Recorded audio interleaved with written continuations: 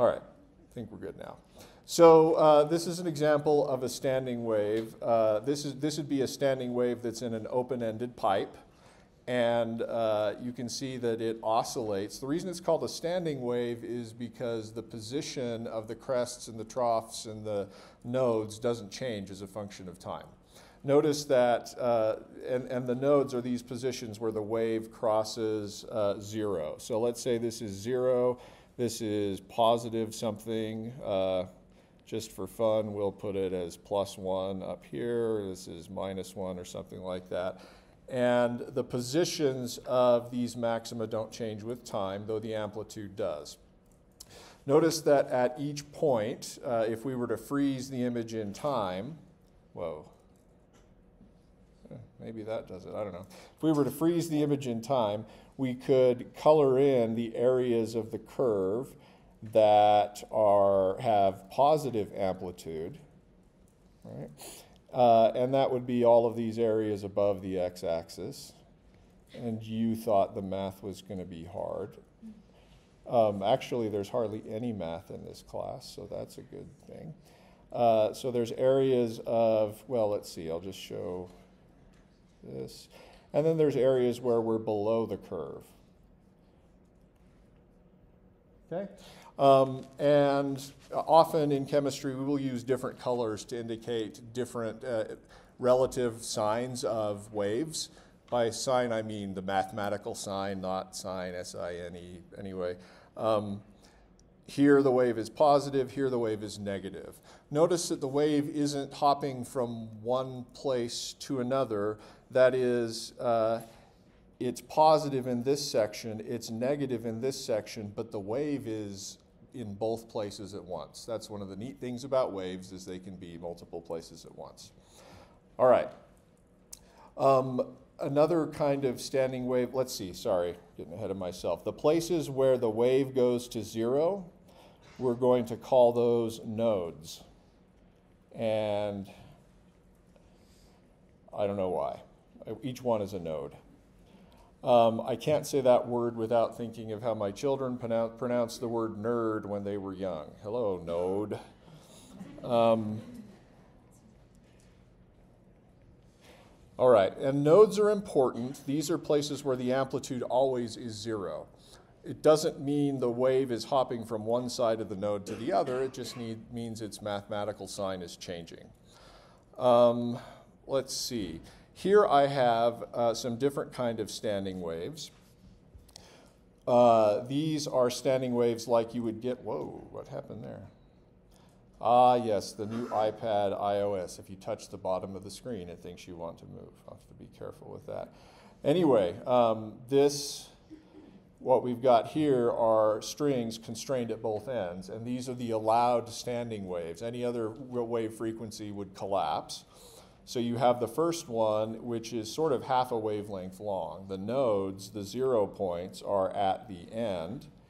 And then we have the maximum slash minimum in the middle. All right. If you were on a guitar or a piano, this would be the first harmonic. This would be the note, major note that you would hear. Uh, and then any, any other combination of wavelengths where you can fit in an even or, uh, uh let's see, where you can fit in half of a wavelength. So here is one half, here is two halves. That's the slightly higher harmonic. Notice that for that, and we might call this the n equals 1 harmonic, and this the n equals 2. Uh, notice as we go up a level, uh, we have a new node, which I'm, I, I guess I'm getting sort of off. There we go, pretty close. Yeah. All right, so notice that um, we didn't have a node here, but when we go up a level, we do, right? And then you can incorporate more and more as you go to higher frequencies. Now, why are we doing this? You didn't think this, this was physics or acoustics or whatnot, but uh, chemistry's easier to learn if you have useful analogies. And it turns out waves are a useful way to think about electrons. Uh, you have learned about uh, electrons in introductory chemistry. Uh, and in part, you may have started thinking about them as particles, little negatively charged things flying through space. Um, you may have heard about orbitals, s, p, d, and so on, but you may not have, you know what they look like, but you may have a difficult sense of what they are. In this class, we're going to consider uh, that the electron is a wave, a standing wave. Uh, its constraints are not the ends of a string, but rather the uh, constraint of a positively charged nucleus. And the orbitals are the standing waveforms that are allowed for that situation. Okay, so you can think of from here on out an, an, elect, ugh, sorry, think about that. An electron in a 1s orbital looks like the 1s orbital. All right, we'll, we'll say, have more to say about that in a second. Um, to illustrate some of these points, I am a, what should we do here? I am a primary chorister. It's the best calling, and I hope it's a lifelong calling. Um, I'm, I'm uh, except some of the kids are hecklers, but I'm uh, well prepared for that. I do not play the guitar. This is my son's guitar. I promised I would take it, bring it back um, one piece, which is why I'm going to bang it against the lab bench. Um, all right, so we're going to set up a standing wave, and I want my goal here is to convince you that the wave exists on both sides of the node. Oh, that was backwards.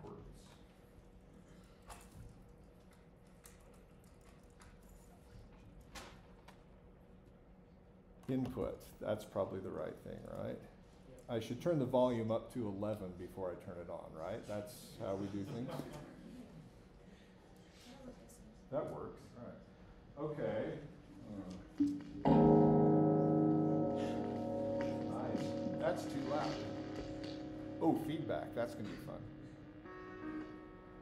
Okay, so I was having my son, who's a sophomore mechanical engineering student, uh, show me this today, or yesterday. Man, this was not rehearsed, so whatever. Um, so he showed me that uh, if we play a note here, and I I am a musician, but I forget what the guitars are. He tells me this is E flat tuned, whatever that means. Uh, so that note, what you're hearing there is the first harmonic. You're hearing the vibration where this, there's just a maximum in the middle and the nodes of the wave are at either end. But superimposed on that are higher order harmonics. And uh, we can hear them uh, by an interesting trick. What we're going to do is we're going to strike the string, and then we're going to tap the string at this position. Okay, and that's going to disturb all of the waves that have maxima in the middle, right? But if we're right and we touch it at the node, that shouldn't disrupt that harmonic. Okay? And if you know anything about music, uh, you go up one uh, half wavelength, we're going to hear not the major note, but we're going to hear the octave, eight notes higher. Okay? At least that's what I think is going to happen here. Uh, and uh, if we had a camera that was detailed enough, we could zoom in on the string. What you're going to see is the string, what you would see is the string vibrates here. Well, that's, I'm going to tap right here uh, in the middle of the string, and you may say, well, this is boring. You're just playing the note one octave higher. That's what a fret does, presumably. And the answer is, yeah, but I'm not pressing the fret down completely. I'm just tapping the string to dampen the first harmonic. My goal is to show you that the wave exists on both sides of that node and to show you that multiple waves can be superimposed. All right, so let's try this. Did you hear that go up an octave? Whoops.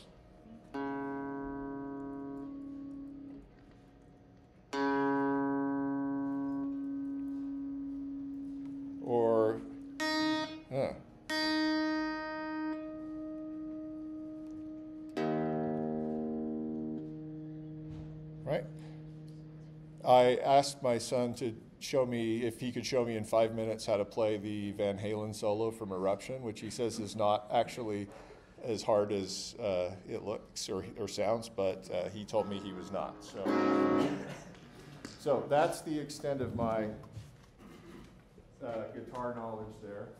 Um, right, so what we've learned so far is that waves can, uh, well, you know what we've learned so far. Uh, let's talk about how this applies to the electron. Uh, we're going to think of the electron as a standing wave, as I said, and the orbitals that you've learned about are simply the allowed wave form. Okay? So, uh, everything we know about the electron comes from the Schrodinger equation, and uh, you've seen that before, uh, and you've looked at it and you've probably thought, okay, that's great. I know the letter H and I know the letter E. And I also know that Raphael the Ninja Turtle used to wield a sword that looked kind of like that. That's the Greek letter psi, and um, it represents the wave function. We're going to refer to the wave form that the electron adopts as the wave function. And it's a mathematical function, and it's complicated enough that it's not fun to write down out explicitly. You can. Um, but uh, we're going to simply draw what the wave function looks like. Uh, the, the h here is also a function. It's called the Hamiltonian, and it describes it describes the behavior of this electron wave around a positively charged nucleus, and it takes care of basically the kinetic energy of the wave the kinetic energy of the electron because the electron has mass and velocity, so it has kinetic energy. And then it's also going to take care of the potential energy of the electron around the nucleus, and that's just Coulomb's law, right? I'm, I'm really seriously not going to test you on this, but if you wanted to remember the energy between two charges is that and that term is in the Hamiltonian, okay? Uh, kinetic energy, you learned uh, in physics, 1 half mv squared. That's, that's good enough for now, though we'll uh, be a little bit more specific in a minute, all right? So uh, to solve the Schrodinger equation, you have to know uh, what this function is, and then you identify a wave that when you apply this function to the wave, it returns the wave again, and uh, a, a, numerical number, the energy level of that wave. Okay? Um, mathematicians out there, uh, these are referred to as eigenfunctions, and these are eigenvalues, whatever that means. That, that was like 27 years ago or something. All right. So let's think about a hydrogen atom uh, around a positively, or rather uh, one electron around a positively charged nucleus. Hydrogen, you've learned, uh, has a 1s orbital. Its principal quantum number is 1. You could think of that as our n equals 1 first uh, harmonic. And if we're to plot what this wave function looks like, let's have the zero point uh, on our x-axis is just going to be distance. And our zero point uh, is going to be the nucleus. The origin is going to be the nucleus. Okay? And uh, then we're going to show what uh, the wave function, we're going to plot the wave function as uh, with distance on either side of the nucleus. Now I have to be a little bit careful here. It turns out that waves, mathematical expressions for waves actually involve the imaginary number in Euler's rule or whatever, e to the ix, which is mind-blowing. So I'm just going to show you the real part of the wave function, uh, but most of the time, uh, yeah, we're just going to ignore the imaginary stuff. Um, so let's put amplitude on this axis. And then I'm going to plot the wave function in red. And it turns out that the wave function has a maximum at the nucleus. That's mind blowing. And then drops off with increasing distance. And it does so in a symmetrical way. All right? Uh, it's one of those functions that approaches zero as you go to infinity on either way uh, on either end, but it still has a finite value even at very, very, very far distances. But for all practical purposes, it's, it's zero. Uh, if you, so what we will typically do, uh, let's show you what this would look like in, three, uh, in 3D. Well, 2D drawn 3D.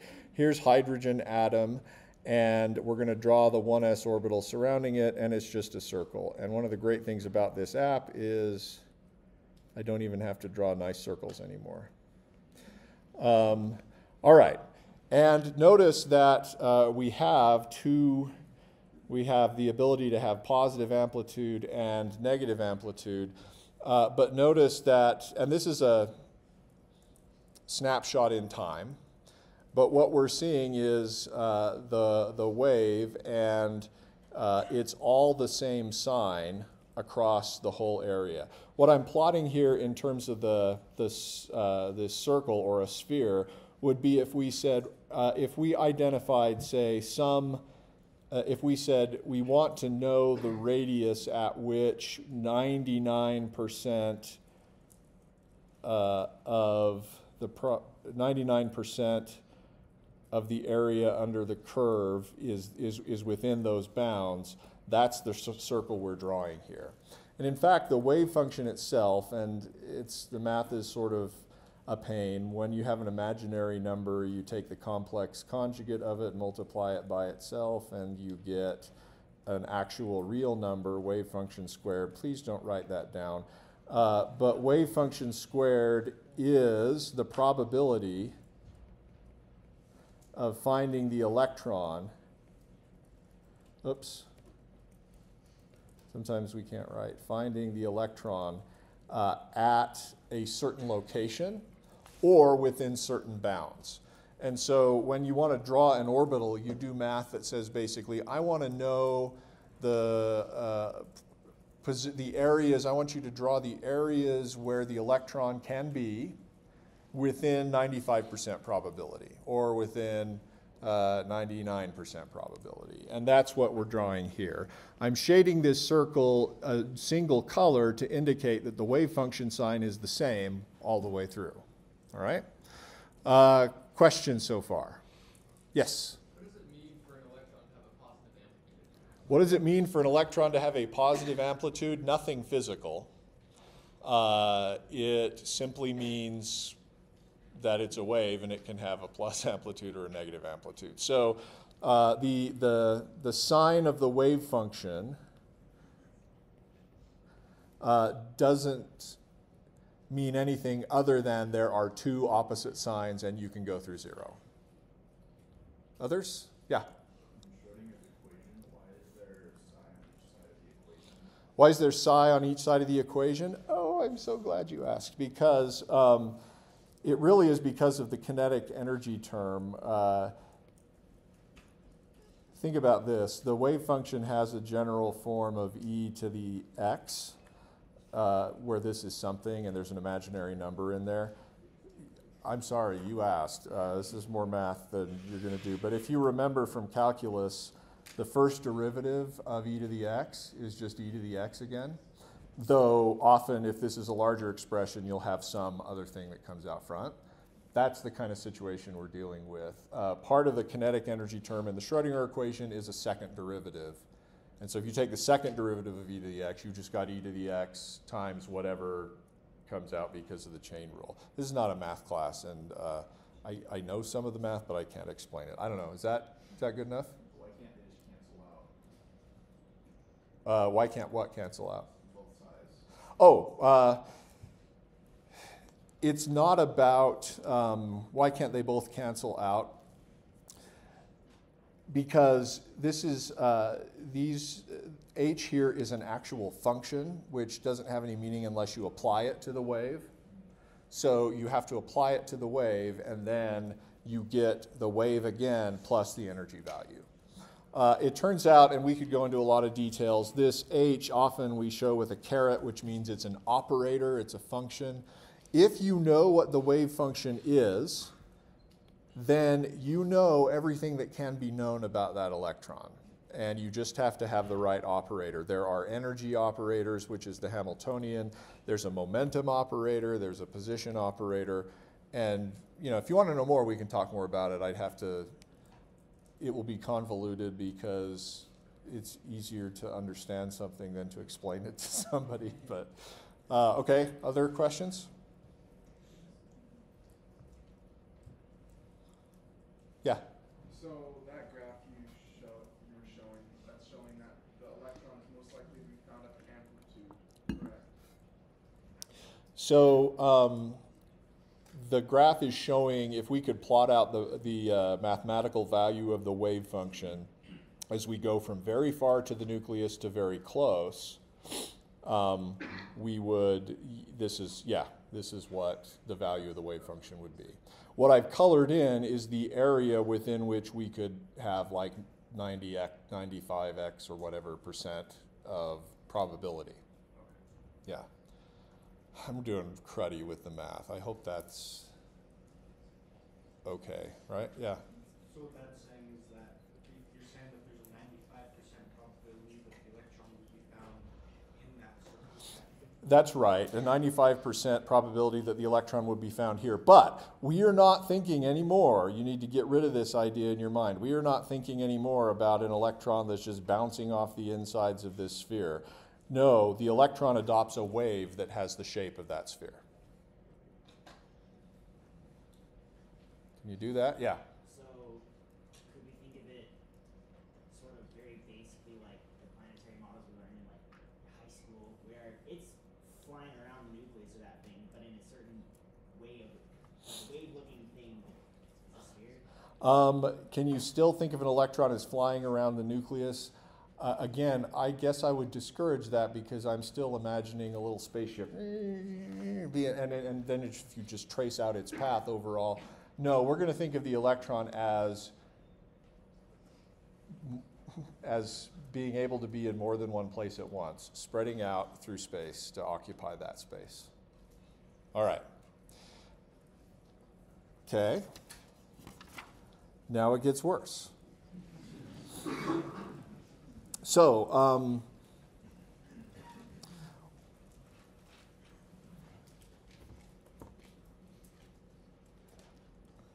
I told you uh, a little bit about the kinetic energy of the wave function. It, and, and again, this is what I'm doing is trying to lay the basis for some qualitative principles that we're going to apply. You honestly aren't going to be doing this math. But I think it's useful enough that I'm going to spend just a minute on it.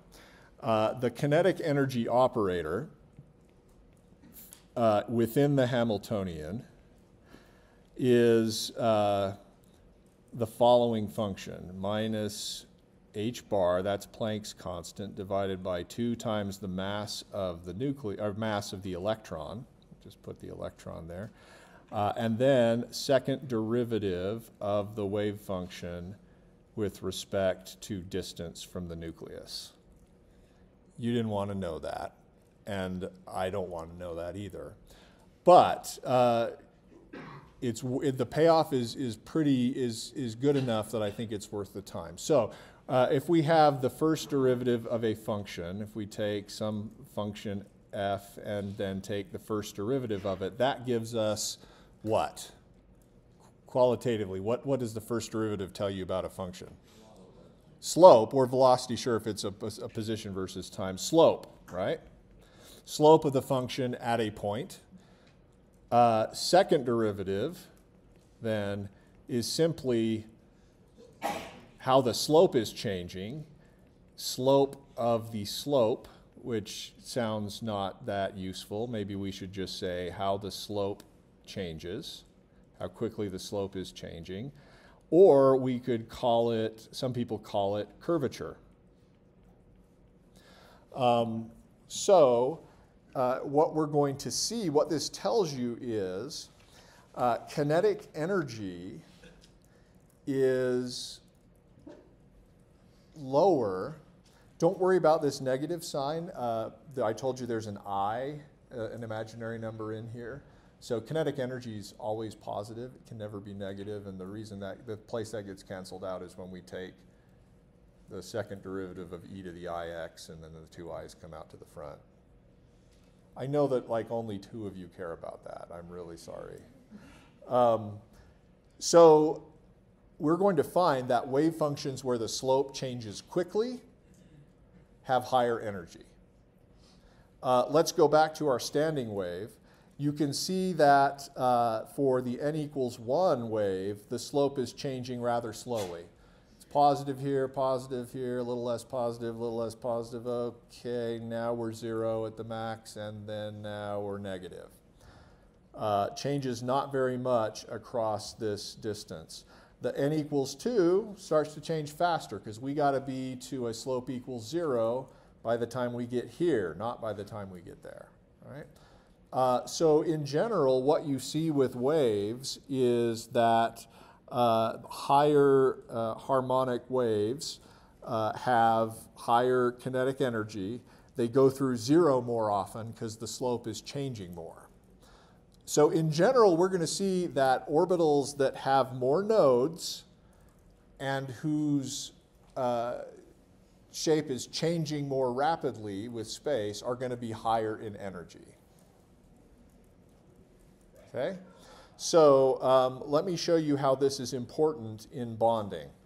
Uh, anybody want to ask any follow-up questions about that? The takeaway is just that when the electron density or when the uh, wave form of the electron changes slope more rapidly, when the wave function is more curved, when there are more nodes, when you go through zero more often, you're higher in energy.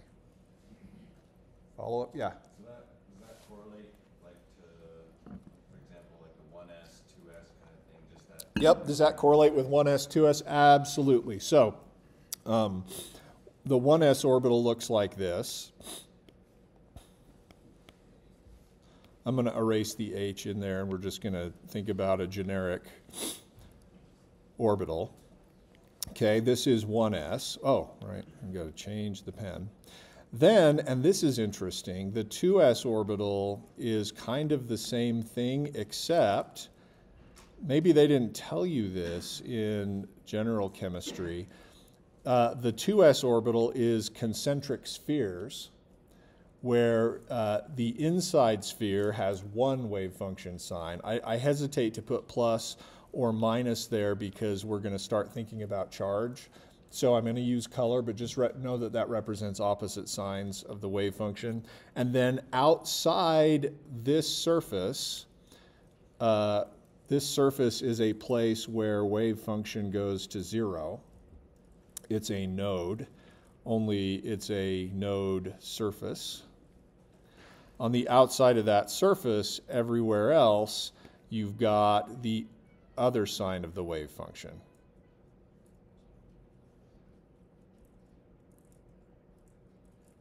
Right? Yeah. And so in the one S, it's one sign of the wave function at any particular. That's right. In the 1s, we have uniform sign of the wave function at any particular time. In the 2s orbital, if we were to sort of plot that out, and because it's spherical and symmetric all the way around, I'm only going to show you one side. Here's our origin. Here's uh, distance from the nucleus r. Yeah, we're going to drop through zero, come to another maximum, and then go back to zero. Except I wanted that to be red. No eraser needed. That's pretty cool. All right. And notice that uh, compared to our graph above, this, if you were to evaluate the second derivative, you would see that it is higher in magnitude. We are changing the slope more rapidly. And correspondingly, the wave function's higher in energy. Okay? So that's uh, one important observation. You don't need to know these graphs. You don't need to know math. You just need to be able to tell the difference between two different colors. I will try to avoid red-green colorblind issues. If, if that affects any of you here, or there are other color combinations that are hard, far hard for you to distinguish, please let me know, and I can try to choose different ones. Um, but you just need to know that the more nodes you have, the higher in energy you are. Okay? So uh, that's sort of one principle you can get uh, from understanding uh, orbitals. Uh, another principle is the farther away you are from the nucleus, the higher in energy you are. That's the potential energy term of the Hamiltonian. Uh, notice that you've got it's got a 1 over r relationship. As r gets bigger, potential energy, which is negative, I should have put a negative there.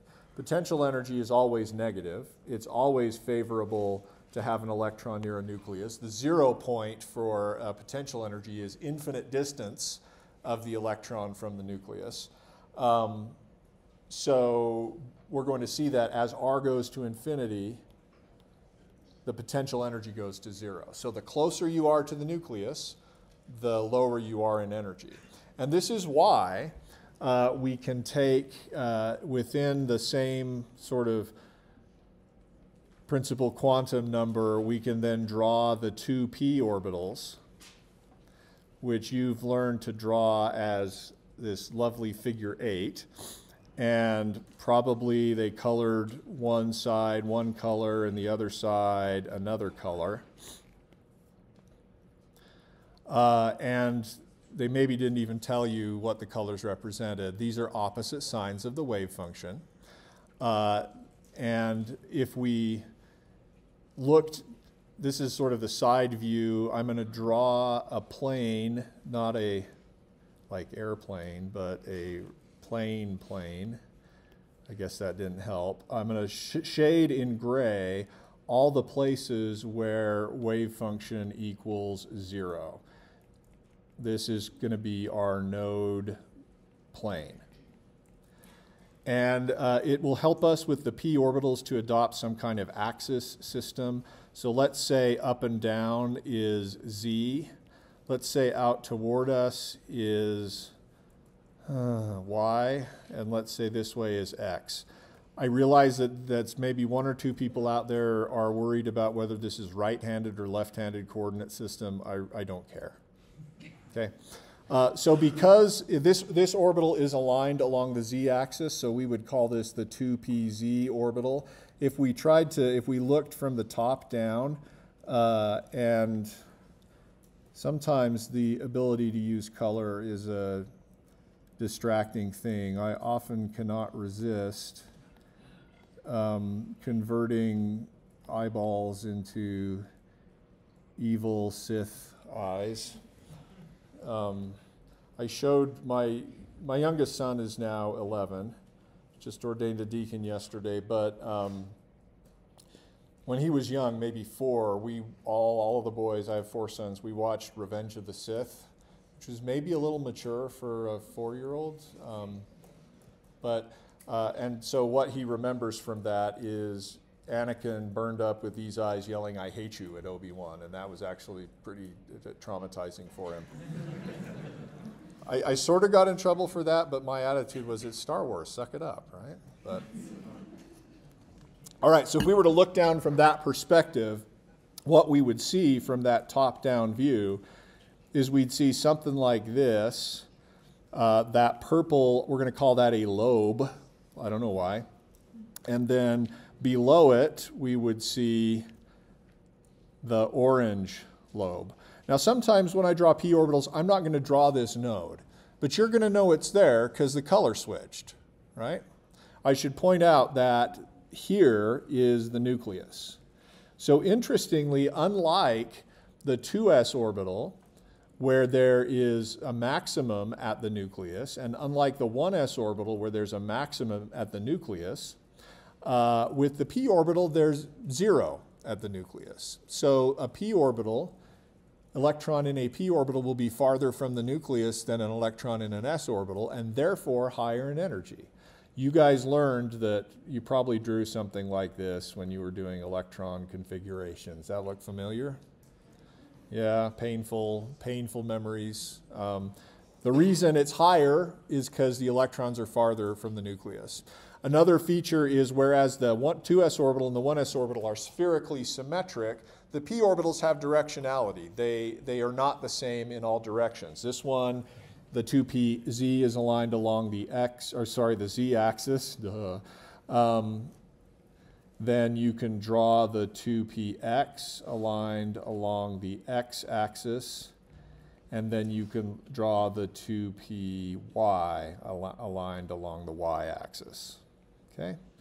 But again, with all of these, we're noticing that uh, they have a node. The node is a plane. In the case of the 2pz orbital, the node is the xy plane. And we could make similar statements about the 2px and the 2py orbitals. These are all, even though they point in different directions, they are all the same in energy. So the energy of the 2pz is equal to the energy of the 2px is equal to the energy of the 2py. But they're oriented at 90 degrees from each other. Okay? Question so far about the p orbitals? Yeah.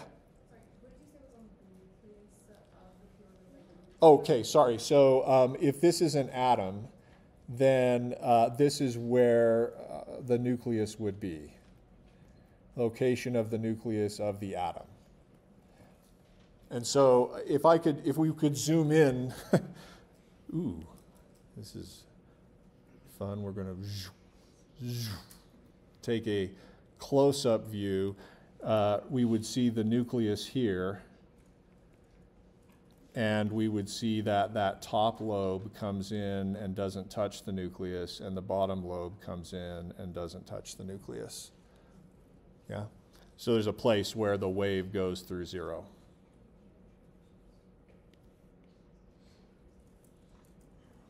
Yeah. Okay, others? Yeah. An element that has a p orbital, would it have the s orbitals others? well?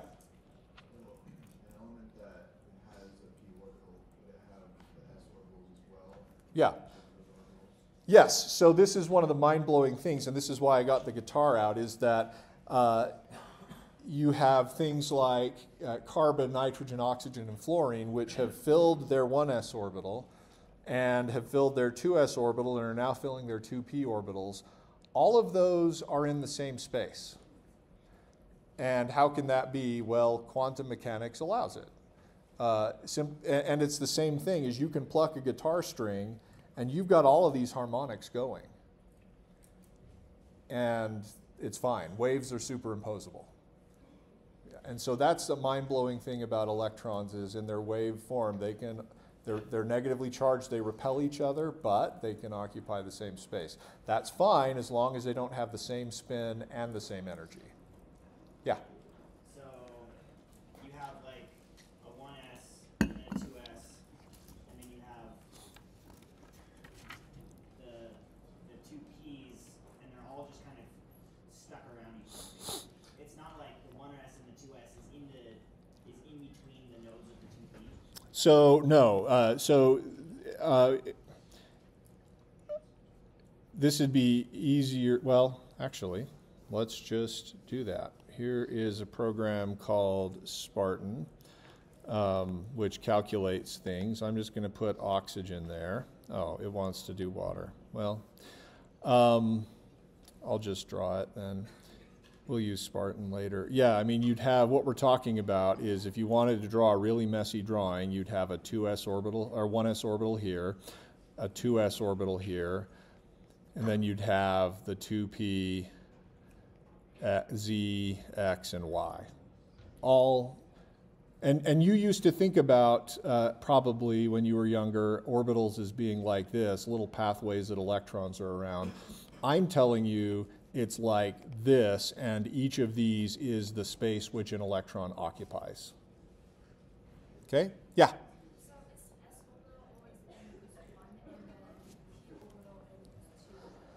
Oh, good question. So uh, this n equals 1 and n equals 2 you can think of as the principal quantum numbers on the periodic table. n equals 1 is for hydrogen and helium, n equals 2 is for the next row. Uh, and then I forget what else, wh- what it is. Oh man, see, you don't have to know a lot to take this class. You don't even have to know a lot to teach this class. Uh, there's a second quantum number L, um, which tells you whether you're S or P, I think. And then there's another quantum number that tells you which p orbital you are. We won't worry about that, but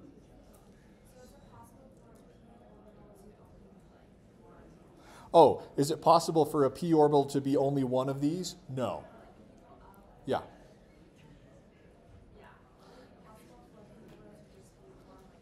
Like this here? No, that's the S type orbital. This is a P type orbital. In fact, it's actually a pretty direct analogy, right? If you look at those graphs that we did above, this looks like the uh, S orbital in terms of its sym- symmetry, and this one goes through zero in the middle. That's the P orbital. Okay? All right. Yes?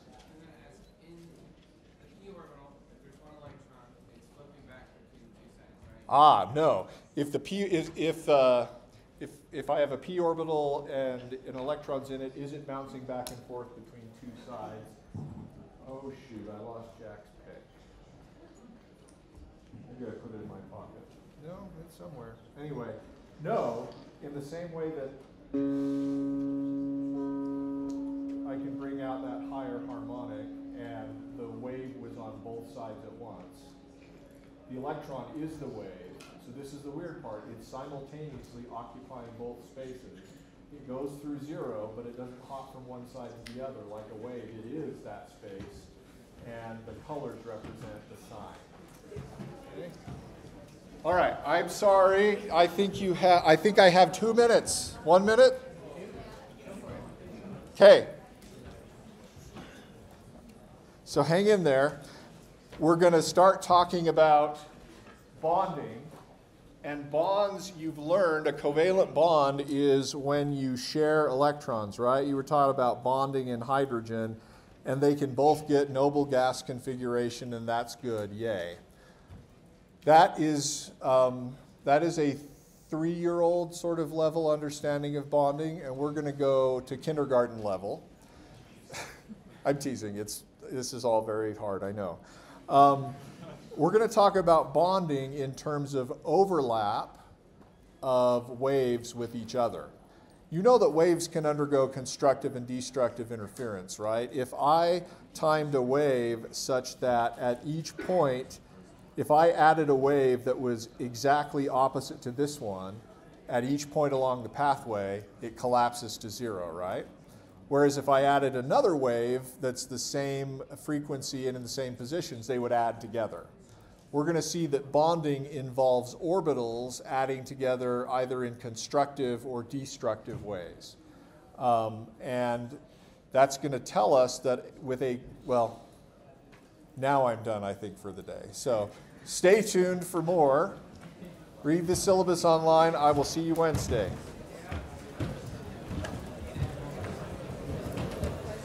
Yeah.